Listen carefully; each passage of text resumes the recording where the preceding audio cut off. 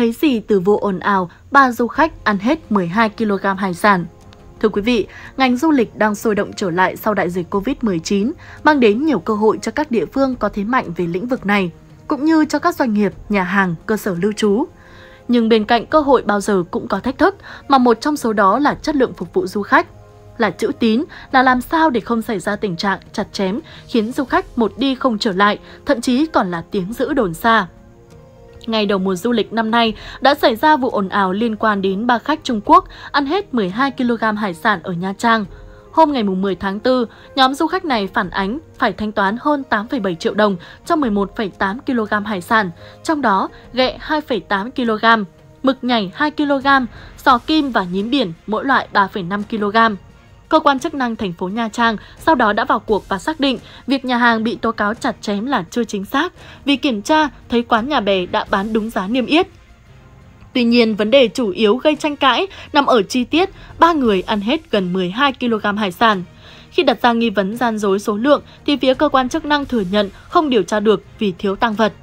Trong khi đại diện quán nhà bè khẳng định với đoàn kiểm tra rằng ba người có thể ăn hết 12 kg hải sản là chuyện bình thường. Rất nhiều chủ quán hải sản khác trên địa bàn Nha Trang đánh giá điều này khó xảy ra do hải sản nhiều chất đạm, sức ăn một người khó nạp hết 4 kg. Ở đây, để rộng đường dư luận cũng cần nói thêm rằng hải sản là đồ ăn mà phần vỏ bỏ đi khá nặng như cua, ốc, ghẹ, tôm. Vậy nên rất khó để tính chi ly là mỗi người ăn hết 4 kg hải sản. Sự việc dù đã được cơ quan chức năng kết luận, nhưng thiết nghĩ qua đây một lần nữa cho thấy các cơ sở kinh doanh cũng như cơ quan quản lý cần hết sức chú ý đến giải pháp chống nạn chặt chém, đồng thời nâng cao chất lượng dịch vụ để không xảy ra điều tiếng không đáng có. Còn nhớ, hồi tháng 4 năm ngoái, một quán ăn tại thành phố Nha Trang cũng bị tố chặt chém khi 14 người ăn hải sản hết 42,5 triệu đồng.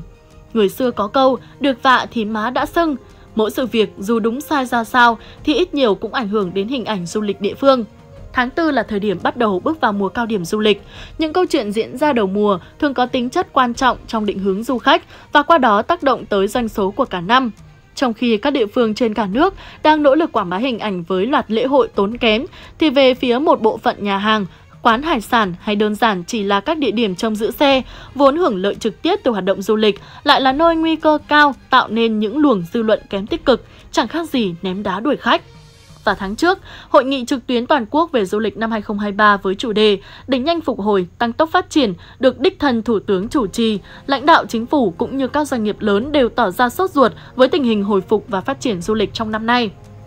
Số lượng khách quốc tế đến Việt Nam năm 2022 đạt gần 3,7 triệu lượt người. Tổng thu từ khách du lịch đạt 495.000 tỷ đồng, vượt trên 23% so với kế hoạch năm 2022. Với 6 trên 17 chỉ số trụ cột thuộc Bộ Chỉ số về năng lực phát triển du lịch, xếp vào nhóm dẫn đầu thế giới, du lịch Việt Nam là một trong ba nước có mức tăng trưởng cao nhất. Những con số nói trên là khả quan, song rất nhiều vấn đề nhức nhối đã được chỉ ra để các bên nhìn thẳng vào thực tại. Tại sao du lịch Việt Nam mở cửa sớm nhưng lại đi trước về chậm? Tại sao tỷ lệ khách du lịch quốc tế trở lại Việt Nam còn thấp? Các giải pháp đúng và trúng chưa? Tại sao vẫn có tình trạng manh mún trong du lịch? Chúng ta đã làm tốt công tác quảng bá, xúc tiến du lịch chưa? Vì sao thông tin cho khách du lịch còn thiếu, yếu, mặc dù đã thúc đẩy kinh tế số, chuyển đổi số? Trở lại câu chuyện du lịch Nha Trang, đây là địa phương có thế mạnh khi được thiên nhiên ưu đãi. Vì yêu mến hương sắc biển trời Nha Trang mà một số người bạn của tôi đã ở lại, sống và làm việc lâu dài tại thành phố biển này. Nha Trang vẫn là một trong những địa chỉ đầu tiên để lựa chọn khi chúng tôi lên phương án đi du lịch và các kỳ nghỉ dài ngày. Chính vì yêu mến Nha Trang, tôi nghĩ rằng chính quyền địa phương cần tăng cường công tác quản lý hơn nữa, không để xảy ra những lùm xùm đáng tiếc gắn với tính chất thiếu chuyên nghiệp, trục giật và manh mún trong khai thác du lịch. Theo ghi nhận của phóng viên báo chí, giới kinh doanh trong nghề ở Nha Trang đã chỉ ra rằng một số quán hải sản sử dụng cân lò xo để cân trọng lượng nên dễ xảy ra sai sót vì loại cân này có thể chỉnh sai số được. Do vậy, cần tiến đến sử dụng cân điện tử có giấy kiểm định khi mua bán. Một chủ quán hải sản ở đường Hùng Vương, thành phố Nha Trang cho hay, tại Nha Trang đang tồn tại thực trạng các quán muốn lôi kéo khách phải chi hoa hồng hậu hĩnh để taxi, xe ôm, xích lô đưa khách về giúp. Chi phí hoa hồng này đều được trả bằng tiền của khách hàng, Cố phần giá bao gồm hoa hồng nhiều cấp như vậy, trong khi đã có giá niêm yết nên một số nhà hàng, quán ăn mới tìm cách cân điêu để có lợi nhuận.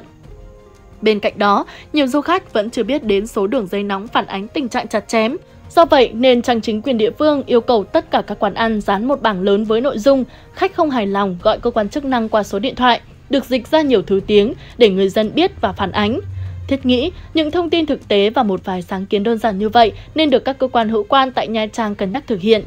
Với những vụ ồn ào nghi vấn chặt chém, trở nên tư duy chủ quan rằng vắng cô thì chợ vẫn đông, mất đi một vài khách du lịch sẽ chẳng ảnh hưởng tới tổng doanh số. Một đám lửa nhỏ nếu không xử lý kịp thời sẽ tạo nên cả vụ cháy rừng. Khi những vụ chặt chém diễn ra nhiều hơn và tạo dư luận xấu trong xã hội, nhất là trong điều kiện Internet phát triển mạnh như hiện nay, thì khủng hoảng truyền thông sẽ khó mà dập tắt.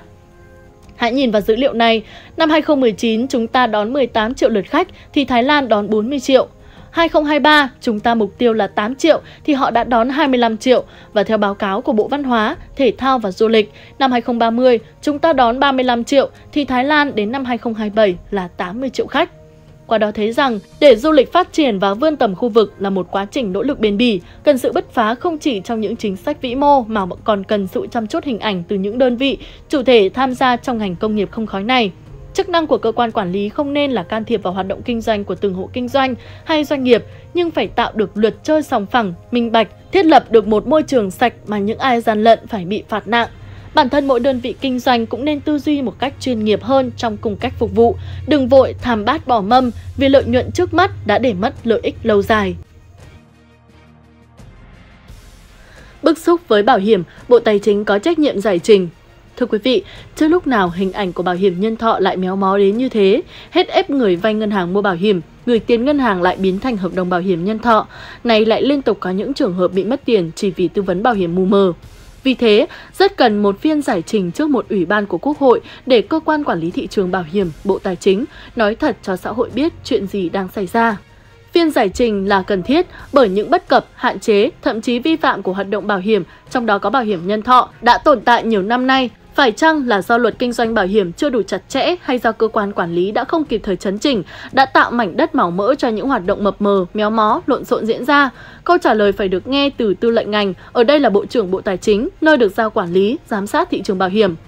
Giọt nước tràn ly, hàng loạt vụ việc lùm xùm liên tục vừa qua khiến ánh nhìn của nhiều người dân về các loại bảo hiểm méo mó, mất thiện cảm. Bảo hiểm nhân thọ, tấm đệm cho người dân trước các rủi ro, đầy ý nghĩa tốt đẹp, này bị vấy lên những hình ảnh xấu xí.